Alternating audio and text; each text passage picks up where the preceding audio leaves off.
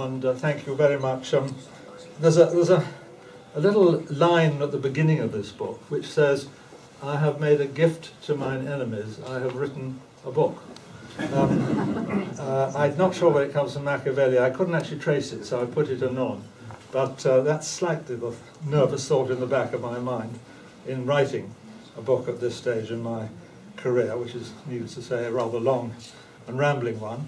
Um, and that reminds me to make clear that why, why did you write the book? Well, not for to get political preferment. I think I'm the wrong age, and anyway, I'm probably the wrong sex. Um, so it's not for that reason. Was it to become a bestseller and make money? No, because there is no sex or restaurant or food or gardening or mystery or aristocracy or tophism in it at all. So those are not the reasons.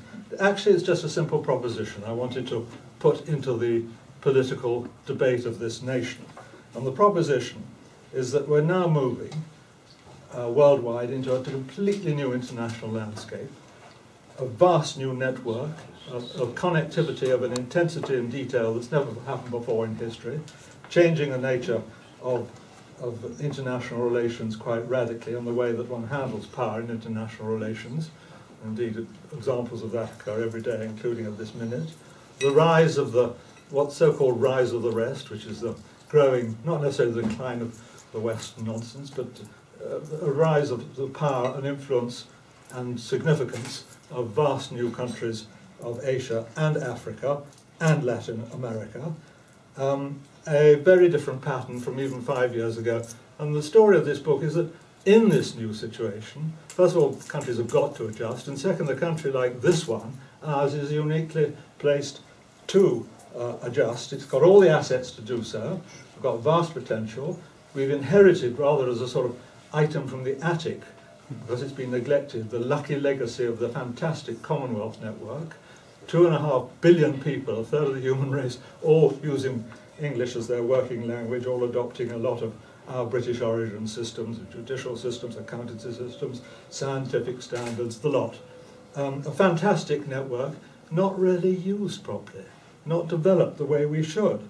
And I've tried to sort of ask myself in this book, what's holding us back from using this fantastic range of soft power assets? This ha happened to be a thing that I was putting a plug for something else. I'm chair of a Lord's committee that's looking at this same question. I wrote the book before I started on the committee. But uh, we've had a fantastic range of evidence and witnesses in that committee, vast submissions from all around the world, certainly all around this country, uh, giving various views. But before I, we'd had this, I tried to set down what I thought was holding us back. And I'm just going to run through the sort of six main things which are in the book, and then um, uh, wait for a few arrows to be shot in my direction, which I think is the proper thing for you to do. Um, one, uh, the sort of complaint that Maynard Keynes used to have. And his real quarrel wasn't with the monetarists versus the Keynesians or the, the uh, economists, it was with those who refused to accept what was really happening. They simply weren't, they were either blind to or refused to recognize the vast change in the conditions that he was facing and we're facing today, which are completely different to five years ago. Two, obviously, we're not, we're not yet on top of the European situation. We had the brilliant speech of David Cameron, the, uh, the Bloomberg speech, uh, but somehow, so far, a party hasn't formed round it. The real intellectual depth hasn't been injected into it. Uh, there's a whole chapter in my book called The Party of January 23rd, rather hopefully that such a party of reform can come into being with more power than, say, the Party of Reforms of 1832 and periods had in this country. Thirdly, uh, I follow very much William Hague's adage about our relations with America. They do need resetting. We still bang on in the language of the last of the last century about it. William rightly said the relationship should be solid, not slavish. I think summed it up beautifully. Fourthly, and now this is this is where I may not get any further because you may shout me down. It a, is a chapter or two built on previous books I've written about the economics profession and how it has let us down, frankly. It has indulged in an endless civil war about uh, uh, managing and steering this economy or modern economies, which are actually not related to what is going on, the Keynesian point again.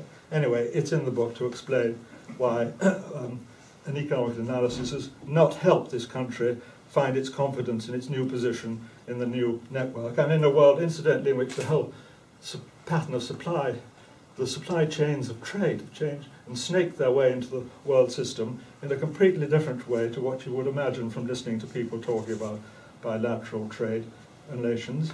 Fifthly, there is the fiasco of energy policy, where we somehow mm.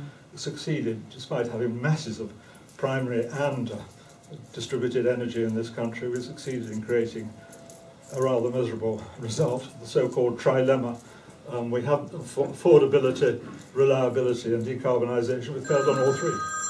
It's certainly not affordable. Uh, it's certainly not going to be reliable. And of course, decarbonisation, um, if you take into account our full carbon footprint, has been a disaster.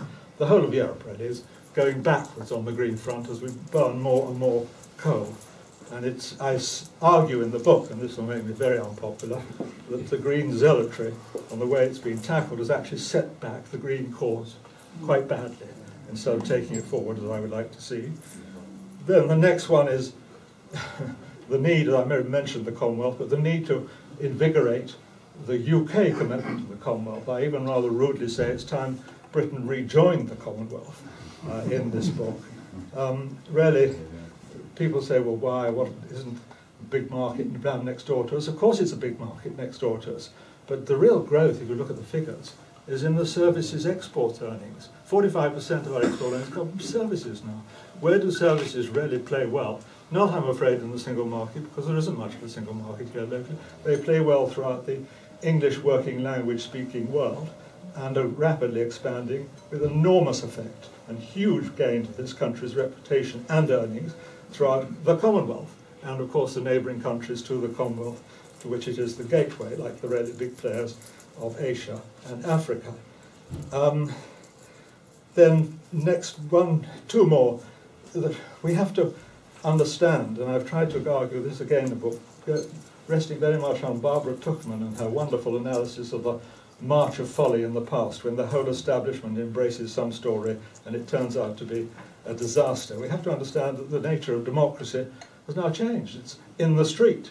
We all thought the Arab street was going to, the Arab Spring was going to be a spring with liberty and democracy. It turns out that if you put power into the street, it just fragments into a vast range of different grievances and different challenges and permanent instability and volatility.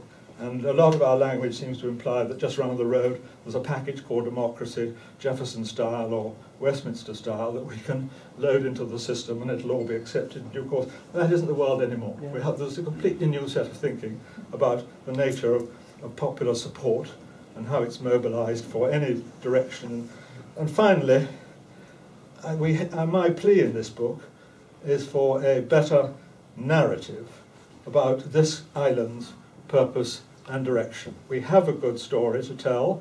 It is told from time to time, but I think we could do very much better in bringing this nation together and heading off the threats to our own union, namely having Scotland lopped off, which is an absurd idea. Indeed, at some stage, I argue that far from going that way, we should now be thinking, looking again at very, very positive noises coming from the direction of Dublin, uh, the Irish Republic, where, of course, the Queen was marvellously received, where um, was at least one person in this room knows we've lent them a lot of money at very nice rates. Um, and uh, there's a lot of rethinking going on in Dublin about, even if they're not going to line up with the, with the Brits after several hundred years of antagonism, the entry to the Commonwealth, this new Commonwealth, which isn't necessarily Anglo-centric, and joining this network of exchange and capital flows and business, which is growing at such a rate between Commonwealth countries, is something worth considering. So we might end up with a stronger British Isles and not a weaker one yeah. once we got over the hump with the Scots. So I think I've said enough to indicate that this is a, an optimist's book. Uh, perhaps you'll say that I, um, I'm not, uh, I should have no right to be an optimist. I'm not young enough to know everything. Um, and, uh, but one tries and accumulates it all. And that's, I think, the story which, which aside from political parties, people who believe in this island and its possibilities and its history and its potential should now be thinking about adopting to take us forward. Thank you very much. Thank you.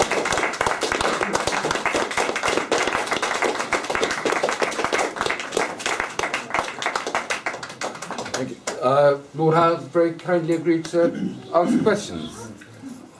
And we, uh, we like to think uh, uh, as ourselves as optimists, so um, if there are any pessimists here, then May I, David? Yes. Um, you made reference to the institutions, the in the world, the United Nations and uh, European Union, and very politely, uh, it was implicit that their credibility is not very high. Now, the credibility of the Commonwealth is clearly untouched in a sense in, uh, in recent years. There have been lots of discussions in the past, but now it is a credible institution. How can you make political capital out of that credibility? Can uh, something be unifying, for instance, the three or soon to be four parties uh, in the UK? Um, can, can one really build on that proposition that the Commonwealth is a viable and credible institution? Well, uh, only if one starts from a, a different point of view. That this, we're not talking about alternatives to uh, governmentally blessed uh, international organisations like the EU with the top-down sector. We're not talking about that. But the Commonwealth starts from being a different thing, which is why it fits into the age of connectivity and the age of weaker government power and dispersed power uh, and uh, strength in the street. As a, the Commonwealth fits into that because it is, uh, as uh, the Queen keeps reminding us, a, um, a family. And it's a family of interests and lobbies and, and uh, groups and children and education and universities and uh, court procedures and uh, habits and uh, every conceivable kind of lobby and interest from A to Z. There are 82 official Commonwealth organisations, none of which uh, need, because they're really sort of bottom-up, uh, um, self-propelling or self-assembling organisations, they don't need uh, a great sort of treaty on top of them or a great new schema of things. And it is, it is extraordinary how, despite all the treaties in the world and despite all the talks of spheres of influence, although as William Hague rightly said on Monday, we've, we've passed the age of spheres of influence, despite all that, the Commonwealth interaction uh, has been given a blood transfusion by, uh, by the rise of the internet and connectivity. So that's happening anyway. A lot of this is happening anyway. You don't need a governmental initiative to crown it. Uh, it is a different animal entirely to what the founding fathers of the uh, European common market or community or union uh, were aiming for. And I think just as the Commonwealth is rising because it's not dominated by secretariats, so the poor old European Union has got to adjust itself rather sharply to meet with this, to cope with this world. Here, here. Um, and EU reform really does become the flag of all parties, as far I make out. I don't understand why people make out there's a, a row about, this is naivety, I know, why are we all rowing about the European Union half the time? Everyone agrees there should be European reform, including the three quarters of Europe. So. Uh, David, isn't, it, isn't the reality is, if we assume we're going to get over the hurdle of the next general election, the Prime Minister is going to get bogged down negotiating with Europe. Like all his predecessors, he's going to come back with sweet damn all. Uh, and then the party is going to split when he advises to vote to stay in Europe. Uh, can you see any way we're going to get out of this? Uh, not least um, with the very points you make about Commonwealth, Latin America, the wider world, which was what Pitt Yeah. was involved with in the first place. Well, Jakes, it's, um, it's in the book. There's two chapters answering your question. Buy the book. Buy the book, but the, the answer is most certainly, that, you know, we could talk about the, the media obsessed with this idea of a, a negotiation between Britain and the rest of the European Union, grab our goodies off the shelf, get the low-hanging fruit. It isn't going to be like that. We're, we're, talking about European reform, which requires a huge input of intellectual effort far beyond governments and officials, and uh, requires really the best brains of this island and indeed of Europe to reconstruct an, uh, a Europe that really is going to work in the 21st and 22nd centuries. And that is what we in London ought to be able to take the lead in doing. And the Prime Minister's speech 23rd January did indicate that that's the way we go. But uh, I think that the, although it was a rallying call, there's not enough rallying. If people think, oh, we'll leave it to the Foreign Office, they'll sort it out. It's, this is a much bigger task than any officialdom can deliver. We're talking about we want the engineers, the physicists, the best academics, the best brain power, all to be as equivalent. I used to go and interview Jean Monnet when I was a young journalist. And uh, he, you know, he said this is all going to be done by around the dinner table or by, by thinking by the best brains. I'm not going to wait for governments to build the Europe of the 20th, 20th century. We're going to build it without governments, which of course is something that backfired in the end. But um, it is, it is through intellectual profundity and really understanding how nations interrelate and how Europe's going to work that we're going to reform Europe. And that's what we should be doing in the next four years. And I hope the Brits will have common sense and give it a 60-40 majority in 2017. I think they will. Uh, Jonathan David, first of all, congratulations on being the most vocal political champion of the Commonwealth since I think the days of Bob Menzies and Lord Beaverbrook. Mm-hmm. Hasn't been anybody much in the intervening period to say the kind of things you are now saying. But when you were Minister for the Commonwealth, what was your thing you were proudest of actually doing? and secondly, if we were looking for things which really started to make the Commonwealth meaningful, how about a better visa system, uh, obviously a preferential system, for people from the Commonwealth? Yeah, well, um, on, on the second one, without uh, uh, improper leaks and so on, I've, I've mentioned I was chairing the soft power committee. Every witness we've had, and that's on the record, has raised this issue of different visa arrangements for the very different kinds of immigrants we're all ranging from billionaires at one extreme to extreme to able young students and would-be future leaders and business people on the other. So, uh, and those who want to come here to do a genuine job. So it's, it's, that's a very well taken point. I don't mention it much in the book, but it's, you're quite right, it's uh, central to the issue. What went on uh, in the Foreign Office, which I greatly enjoyed, marvellous people there, but I did discover very early on by looking through old records and talking to people, there was, a, there was a coup attempt, a failed coup in, uh, in 2000, I think, in 2003, to get the word Commonwealth abolished from the Foreign and Commonwealth Office. It failed, it was defeated, and the C remained there. So my first task, this sounds a bit ethereal, but this is, was to, uh, uh, with the full support of the marvellous William, to, to get say we're going to put the C back into the Foreign and Commonwealth Office, get the idea going again, show that Britain wasn't actually completely. See, a lot of people think, and I'm afraid this applies to the Foreign Office establishment, uh, many members of it. 1972, we were told, sorry chaps, the destiny is in Europe. The big show is in Europe. All, all the growth's going to be in Europe. That's where the growth is. You can forget the rest because they're slow growing, they're basket cases, they just want more aid. That's all a bore. We'll turn out, with, and old Ted made a thousand speeches saying that he was trying to do what he could for the Commonwealth, but basically our destiny was in Europe. And that's 1972. Now, the Foreign Office only got to that state of mind after a lot of arguing. They were one of the last departments to agree to that. Once they were converted, they became, like all converts, zealots. And they have stuck with it for 40 years. Uh, where are we now? 1917, 1972, 2012, 13, 14, 42 years. And moving away from that mindset to the understanding that Europe is important, but unfortunately it happens to be stagnant. Unfortunately, it's got a lot of problems it's going to struggle with for many years to come, and the big growth markets, the huge growth in our exports, in, in world development, in technology, in science, are going to be outside Europe. To change to that mindset is something I'm just trying to give a nudge at. But that's, that's the story of tomorrow.